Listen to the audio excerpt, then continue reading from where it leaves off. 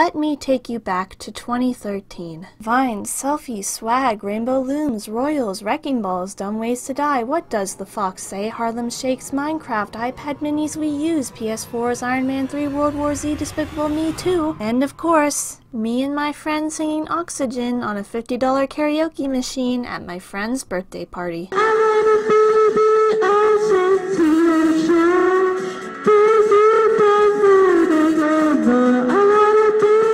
For Disney Channel in 2013, they were running sitcoms like Good Luck Charlie, Shake It Up, Ant Farm, and Dog with a Blog. This was the beginning of the end. Personally, I would consider Best Friends Whenever to be the dropping off point for most people in determining when Disney Channel went bad, and that includes the Lizzie McGuire kids and the Shake It Up kids. And considering that Best Friends Whenever premiered in 2015, 2013 Disney Channel was near its expiration point, at least in the eyes of Gen Z. But we'll save an in-depth discussion of that topic for another video. For now, it's merely setting the stage. Disney Channel was going down, but not without a fight. If the shows were declining in quality, why not try to save the network with a movie instead? 2012 had hosted such successes as Girl vs. Monster, Let It Shine, and the legendary Radio Rebel. As I said, they were successes, but Disney Channel needed more than just a success. They needed a franchise. They needed another high school musical, something that would define a generation and sell them heaps of merchandise. Okay, let's just do that again. We're only making this for kids after all, they'll be too stupid to notice. Let's take a tropey story that we can parody but still fully embrace the cheesiness of with two leads who break the status quo, fill the rest of the cast with recognizable and very marketable archetypes, throw in some catchy songs and flashy choreography, and slap a straightforward, tongue-in-cheek title on that bad boy, and boom!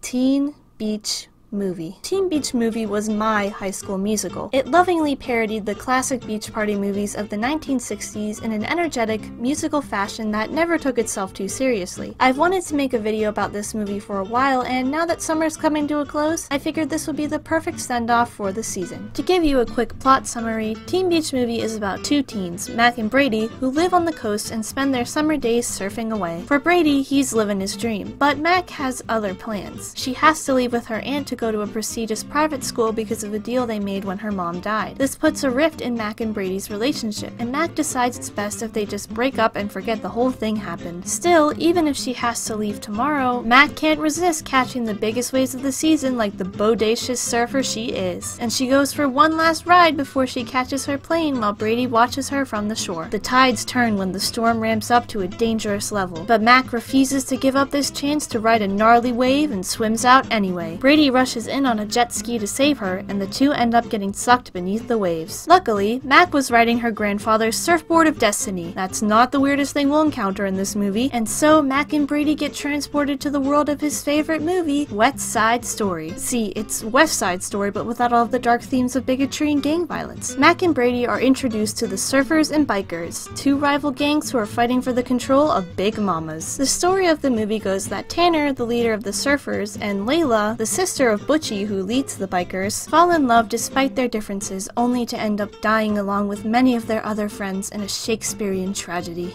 Just kidding, the power of love saves the day and unites the gangs. Unfortunately, all of this changes when Mack and Brady accidentally interrupt Lela and Tanner's meeting, and now Tanner is in love with Mack and Lela is in love with Brady. Over the course of the movie, Mack and Brady work together to get Lela and Tanner to fall in love, repairing their own relationship in the process. This is also so that they can get to the true ending of the movie, where Lela and Tanner unite the surfers and bikers to stop the evil real estate mogul Les Camembert from creating a storm that destroys Big Mamas. Okay, so Camembert wants the beach property because he knows it'll be valuable one day, but the surfers and bikers won't leave because they both want Big Mamas. And his plan is to create a storm using this sci-fi weather machine so that the surfers can't surf because of the bad weather, and the bikers can't ride their motorcycles because the metal will be rusted from the humidity. Even as a kid, this confused me, but it's really just one big excuse for there to be a storm so that Mack and Brady can ride it to get back to the real world. The logic being that they entered the movie world on a storm, so they should be able to exit the movie world on a storm. Either way, Mack and Brady make it back to the real world. Mack realizes that she should be able to make her own decisions for her life and decides not to go to the prep school so that she can enjoy being a high schooler and everyone dances it out. To be honest, the plot in Teen Beach Movie doesn't really matter. Just like High School Musical, we're not here for an in-depth plot that challenges our expectations and asks deep questions about the universe. We're here for good songs and likable characters characters. These characters are what save these movies from being bad. They become like friends to us, and we want to watch them interact in entertaining situations and feel that emotional payoff whenever they finally achieve their goals. So even if the Les Camembert plot is ridiculous and feels awkwardly tacked on, I don't think it really matters. You're not here to watch how Lela and Tanner will outsmart the evil genius of Camembert in a well thought out plot. You're here to watch them work together to defeat the bad guys with the power of their love, and watch Bertram achieve his emotional catharsis as he finally gets to murder a child.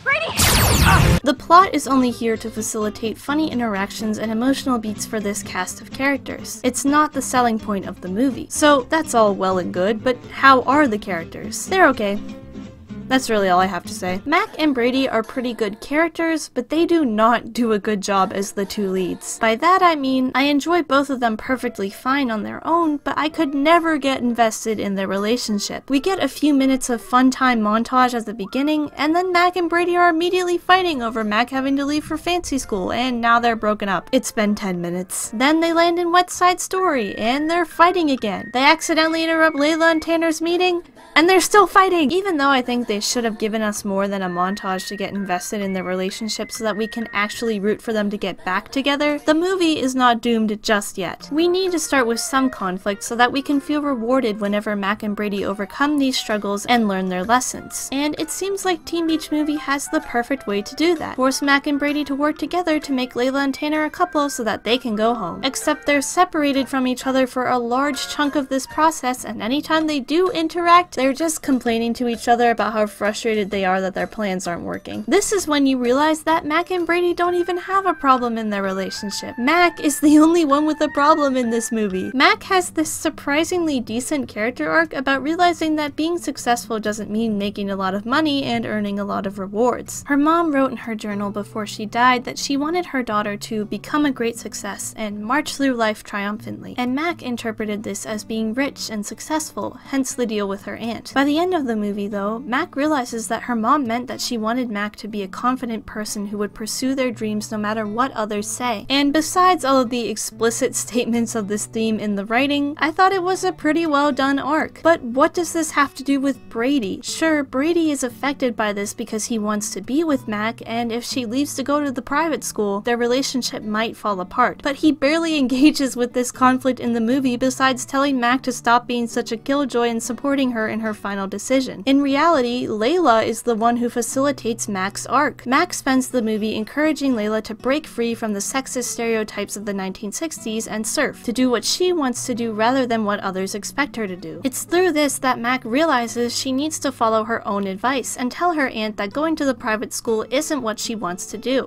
She literally states this in the movie. Without Lela, her arc wouldn't be complete. And Brady just kind of smiles and nods, and soon their relationship is back to normal. Even if their relationship is just a plot device to add drama, at least Mack has a pretty good arc on her own. Her other role as the movie's straight man has a messy execution though. The writing often comes off as annoying and a stick in the mud rather than witty commentary on the situations. And Maia Mitchell's one-note acting exemplifies this problem. I appreciate Mack's arc, but she's just not a very likable character. With Brady, we have the exact opposite problem. Ross Lynch was literally just Austin Moon on Disney Channel. That's it. They would not give this man any other kind of character. Brady just acts like a less obnoxious version of Austin Moon. He's a sweet, dopey surfer boy who is just there to be Mack's nice boyfriend. Compared to Mack's constantly grumpy demeanor, Brady is a breath of fresh air, and I found myself caring more about him even though he had zero development. This poor kid, the whole movie he's just waiting for Mack to figure out her problems so that they can be together again. Mack and Brady are a bit of a mess. Their relationship is very half-baked and thrown together, but both of them are okay as standalone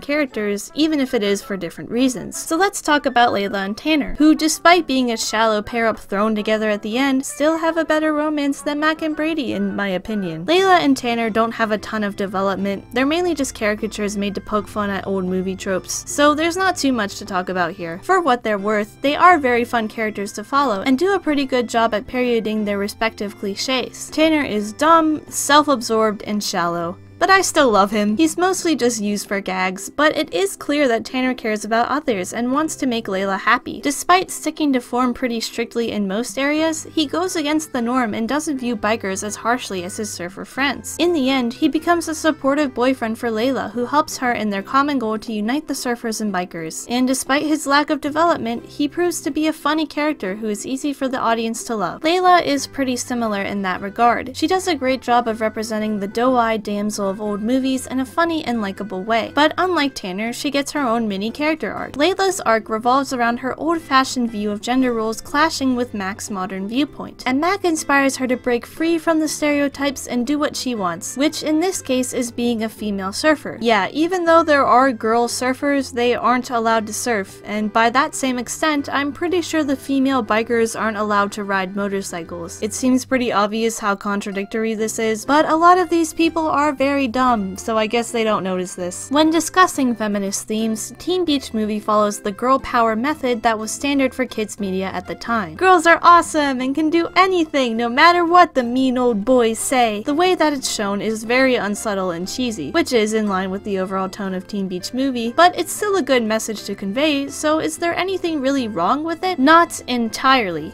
in my opinion. The only problem I have with Teen Beach Movie's feminism is that it simplifies the subject so much that it starts to create its own problems. Any character who does traditionally feminine things is portrayed as dumb and ditzy, and they only become cool whenever they do something that is considered masculine. Lela wants to wear a blue dress because Brady loves the ocean and she wants to make him happy? What's wrong with her? Doesn't she realize she's letting Brady manipulate her every move like a puppet master? Lela wants to be a surfer like Tanner and the other guys? You go, girl, show those men what you can do. And everyone wonders where all the I'm not like other girls people come from. Having this kind of girl power in a movie can unintentionally create the negative effect of making feminine traits seem bad or uncool. And I think it kinda defeats the purpose of the movement. It's not about making one set of gender traits look cooler than the other, it's about allowing people to not be defined by their gender and simply act as individual human beings. Maybe I'm overreaching here. Little girls might not be thinking about the subject this hard and instead just be inspired by someone like Lela who can do something that only boys are supposed to do, which is the desired outcome. I just know that these ideas can be presented in a much better way that doesn't belittle feminine traits in order to empower women, because I've seen it done before. Also, it's just tacky, unsubtle writing. Even with these flaws, I still like Lela's arc, and it has a nice progression from her first meeting Mack, to becoming close with her, to being inspired by her confidence to make decisions for herself. I also appreciate that Lela's interest in surfing actually brings brings her and Tanner closer. Tanner is skeptical at first, but he's happy that someone is as excited about surfing as he is, which makes sense as he is already known to defy stereotypes with his positive view of the bikers. It can be messy at times and overall isn't anything that profound, but it's a nice character journey for Lela to go on. Lela and Tanner are both fun characters who add a lot of life and humor to Teen Beach Movie with their likable personalities and cute romance with each other. Alright, who's up next on the character list? We got Sea Cat,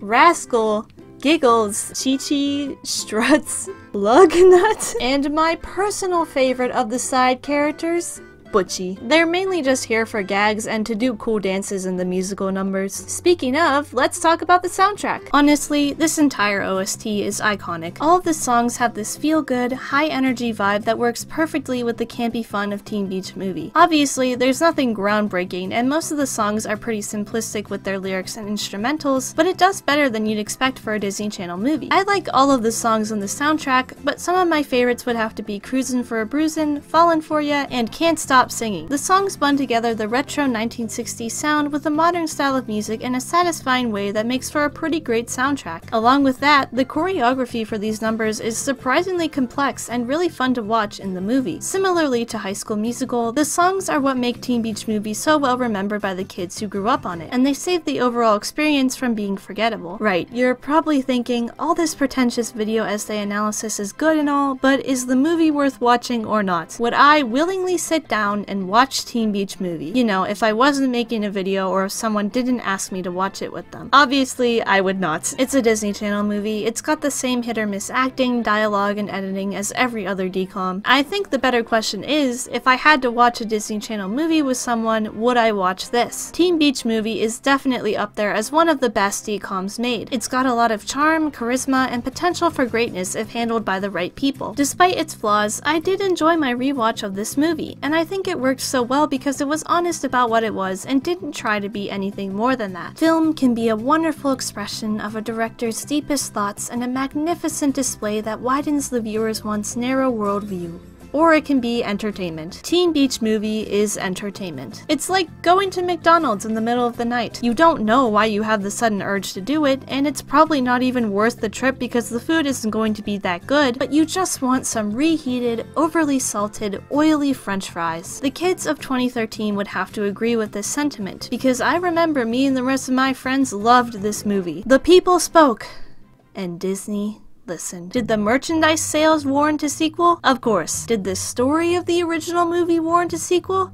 Not at all. Admittedly, there was a sequel tease during the credits of the first movie. Lela, along with some surfers and bikers, came walking out of the ocean only to find that they've somehow been transported to the modern world as a man tries to help them use his cell phone to find their way home. But the Wet Side Story characters traveling to the real world is an idea, it's not a story. Well, with enough cash, coffee, and crunch time, I'm sure those smart writers can come up with some kind of a plot. And you know what? From the looks of it, we're not off to a bad start. Teen Beach Movie 2 starts with the the end of summer. Mack and Brady are glad that they've gotten to spend more time together rather than having Mack leave for private school. But Brady is feeling a bit apprehensive about the start of the school year. After all, they've only known each other during the summer. What if being in school pulls them apart and ruins their relationship? I mean, that must be a very fragile relationship for that to happen, but I'd better just keep my mouth shut for now before I go off on a giant tangent. Mack assures Brady their relationship will be just fine, and they start heading to shore, only for Mack to realize she lost the necklace Lela gave to her at the end of the first movie. She decides it's probably somewhere off in the middle of the ocean at this point and doesn't think it's worth searching for. The next day, Mack and Brady head back to high school, and they encounter some conflict when they discover that Mack is a straight A honor student while Brady wears flip-flops to school, that heathen. This conflict carries on throughout the rest of the movie as Brady tries to follow Mack's overachiever lifestyle but fails to because of his laid-back nature. Meanwhile, in the movie world, Lela and Tanner are forced to act out the plot of Wet Side Story for eternity. Although they still remember their time with Mack and Brady, so it's not like their memory gets reset each time they do the movie. Sounds like pure torture to me. After having her eyes opened by Mack, Lela is questioning her meager role as the pretty love interest of Wet Side Story, and she wants to do something more with her life. When the magical necklace washes up on the shore of the movie world after Mack lost it in the ocean, it serves as the perfect way out for Lela, and she holds it while walking into the ocean in order to travel to the real world. Tanner, concerned for her well-being, follows after her, and the two end up in the modern world. Mack and Brady discover Lela and Tanner on the beach and are happy to see them, but they know they need to get them back to the movie world before people in the real world start to question where they're from. Unfortunately, Lela and Tanner are enamored with the technology and opportunities of the modern world and don't want to leave. Similarly to the first movie, Mack and Brady have to work together to get Lela and Tanner to want to go back home and in the process solve their own relationship problems. Over time, Lela only becomes more enthralled with the freedom women have in the modern world and wants to stay there to pursue her own destiny. Tanner just kinda takes some selfies and then is like, okay, let's go home now. Either way, the movie shifts focus to Lela's conflict between wanting to stay in the real world and being obligated to play her part in the movie world. Despite Mack and Brady's attempts to convince her, Lela refuses and even throws their only way home back into the ocean, the magical necklace. Meanwhile, the movie world is breaking apart without its two leads there, and things get serious when people start Thanos snapping out of existence. Luckily, the necklace washes up on the shore of the movie world and and the supporting cast uses it to travel to the modern world and get Lela and Tanner back. Lela still doesn't want to go home, but when Butchie explains that people are disappearing, she decides she'll have to sacrifice her personal desires to protect her friends. Mack and Brady are still having some issues in their relationship though, so Tanner rallies the movie characters to travel to the modern world one last time so that they can save Mack and Brady's relationship. They help Mack and Brady realize that they can still work as a couple even with their different lifestyles before returning home just in time to save the movie. Yes, we will will talk about that ending, just let me get some things out of the way first. I am once again asking, why are Mack and Brady a couple?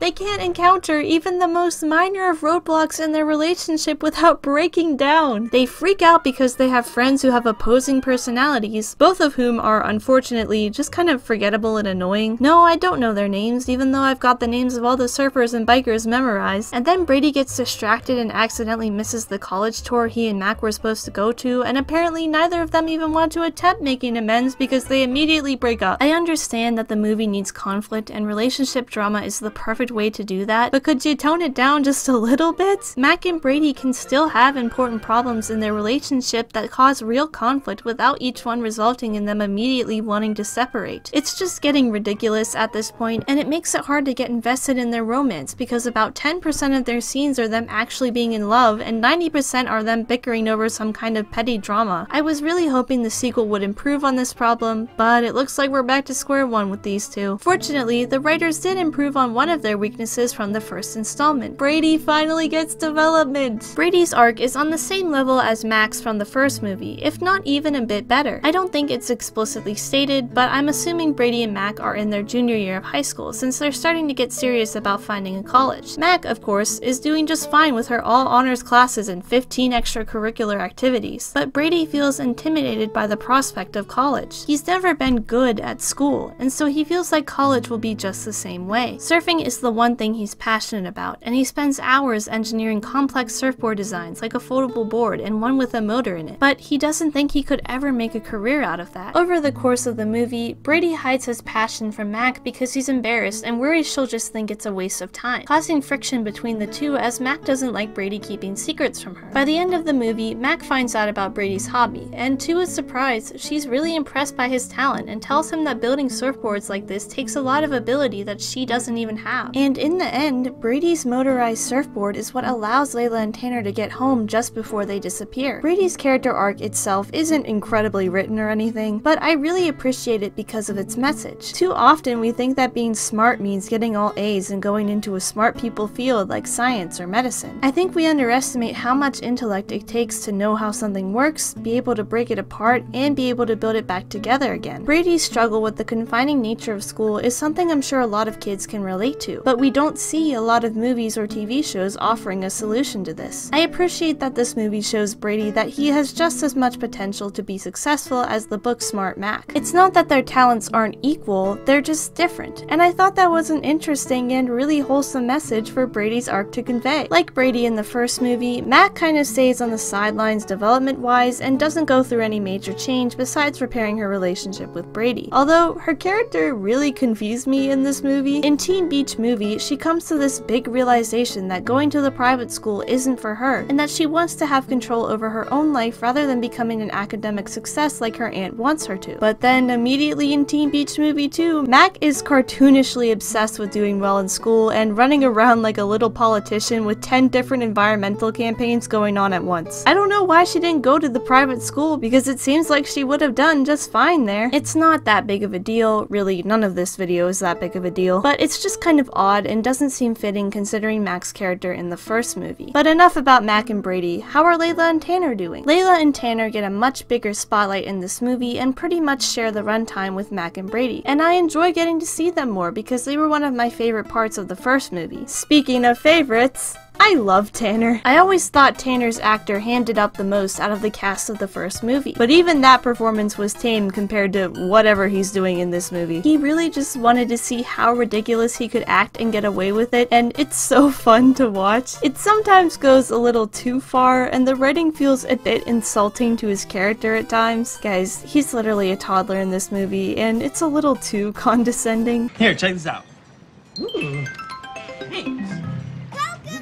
But I've never seen a Disney actor go as unhinged as Tanner does in this movie, and it's really funny to me for some reason. It gets even funnier whenever you find out that Tanner gets an emotional beat in this movie. Tanner has fun with all the exciting new things in the modern world, but deep down, all he really cares about is Lela. And in one scene where Tanner and Brady are alone, Tanner admits to Brady that he's worried that he isn't good enough for Lela anymore. It honestly caught me off guard and was a nice subversion of expectations, as we don't really see guy characters characters worry that they'll be good enough for their girlfriend, and it's usually the other way around. And for this scene, Tanner's actor goes so hard, like you can tell he really wants us to feel the pain that Tanner is going through right now. I enjoyed it, it was just so out of nowhere considering Tanner's behavior for the rest of the movie. I love Tanner, and I don't think the movie appreciates him enough. Case in point, Lela. Lela's arc in this movie is just kind of her doing her arc from the first movie over again. I guess because the movie resets each time, Lela has to go back to her role as the love interest and everyone is sexist to her again, but they clearly remember their time with Mack and Brady, so I'm confused as to why everyone is suddenly so unaccepting of her doing things that only guys are supposed to do when Mack already helped them break those stereotypes. Even if it's a little annoying, it doesn't matter that much as long as the character arc is good. Lela reaches a point where she can't contain her curiosity any longer, and travels to Mack's world in the hopes of finding some better opportunities for herself. When she gets there, her wish is granted. She loves going to school and learning new things, and can't wait to make a life for herself. Sounds like some pretty good character development to me, and it is. Despite the execution being as on the nose as the feminism in the last movie, it's a standard but well done character arc where Lela discovers who she truly wants to be. Unfortunately, things get complicated when you consider Lela's responsibility to the movie world. Without her and Tanner there, people are literally disappearing from existence. Sure, Lela can become a girl boss like she's always wanted, but she'll have to do so with blood on her hands. And this ruins the arc. It turns Lela's pursuit of a better life for herself from a noble aspiration to something done with selfish intentions that disregard the feelings and literal lives of others. But there might be a solution to this problem. What if Lela could fulfill her responsibility as a movie character and live a more free life? What if she could change the movie?